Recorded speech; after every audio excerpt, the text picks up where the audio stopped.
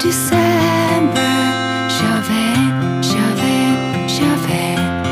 It is the time of year people remember. Shove.